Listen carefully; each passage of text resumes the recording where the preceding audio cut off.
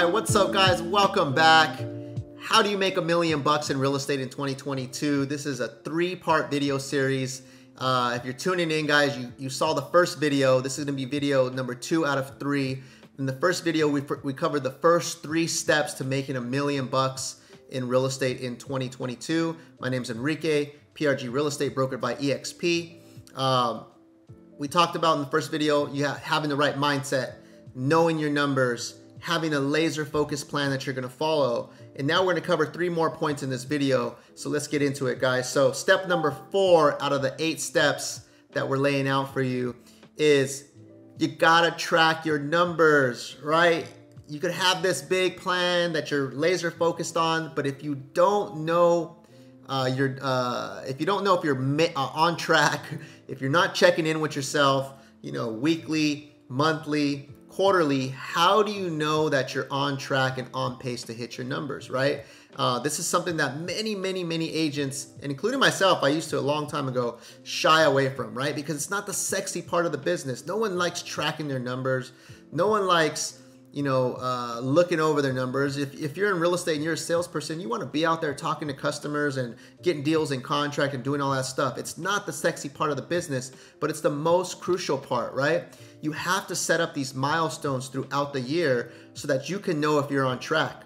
Let's say you're trying to sell 40 million in volume uh, for the year at two and a half percent to hit a million dollars in, in gross commission income well, you can now break that down into quarters, you could break that down into months, you could break that down into weeks, and you can track and see if you're on, you know, track those milestones and see if you're on pace to hit those numbers. And you can know if you need to readjust. Let's say month number one, you know, you're supposed to do, you know, four or five deals for the month and you only got two deals in contract, right? Well, then you're going to have to go back and really look at what you're doing and, you know, see if you need to step it up, if you need to make some tweaks to your plan, um, or maybe you just you know need to get really focused and turn other things down.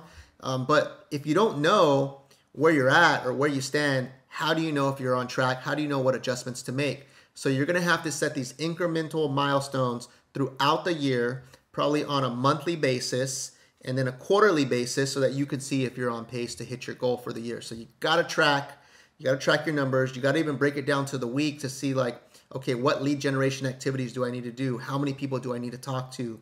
You got to know these things, right? How many appointments do I need to go on to convert one client and track those things, right? Because those small things are going to add up to the big things. So hopefully you guys get it. This is why you got to track along the way and really just know this stuff. Um, step number five, you got to build your team, guys.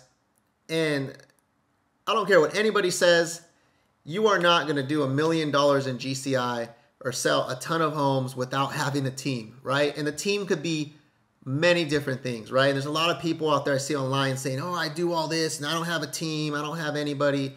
But really, if you have a transaction coordinator, that's part of your team.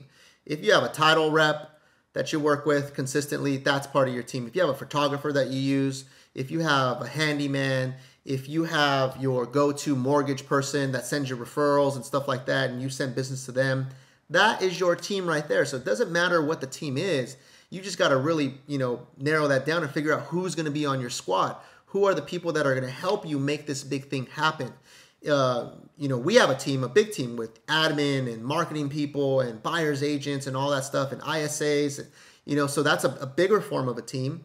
And maybe you're part of a team Maybe you're starting a team and putting it together, but you really need to map that out. So what I would recommend you do is just really take a blank piece of paper um, and just really map out your organizational chart, right? If you're the, the person at the top and you have these people under you or you have the people that you use, your vendors, uh, whatever it may be, whatever that looks like for you, you need to make sure you put your team together and you know who your go-tos are so that you can, you know, get really laser focused once again and make sure you're, you know, pulling in the resources that you need to make these things happen, right? If you want to sell home a lot of homes and you want to do it uh, stress-free and the smoothest way possible and give your clients the best experience, well, then you're going to have to have some form of a team or some people on your squad to make it happen.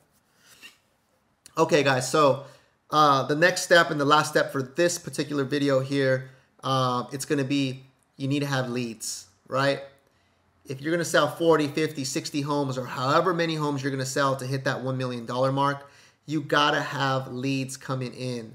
Um, some form of lead generation, whatever that looks like for you. There's many ways to generate leads and opportunity.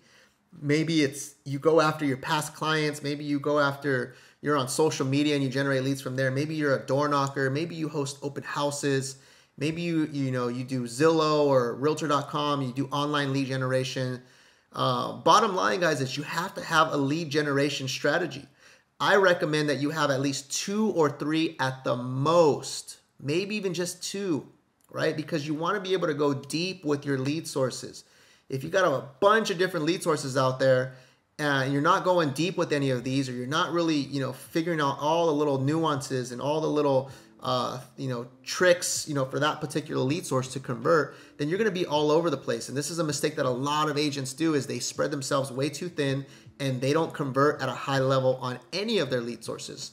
For us, that was a mistake we made early on and we really had to narrow it down.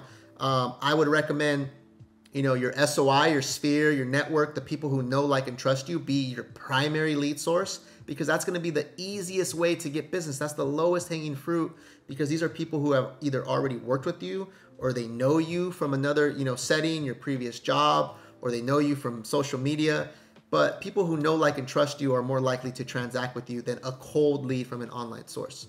Um, and then from if you're working your your sphere and you're really putting a lot of effort into that and going deep with that, then you may gonna, might want to add, you know, one other source. Maybe you're doing online leads. Maybe you host open houses every weekend and you generate, uh, you know, leads that way. Whatever it is, guys, you've got to map this thing out. You really got to narrow down your lead sources so that you have clients coming in and you have people to meet with and you have people that can actually uh, transact with you, right? If you don't have leads, you're not going to have any business. So in this video, guys, this was part two out of the three video series on the eight steps how to make a million dollars in uh, real estate in 2022. Uh, we talked about tracking uh, your progress along the way. We talked about assembling your team, who's your squad that's going to go out there and help you make these deals happen. And um, we talked about you know having enough leads to feed the business and to generate you know the deals that you're trying to uh, generate in 2022 to hit a million bucks. So uh, stay tuned for the next video and we'll wrap this up. Thank you.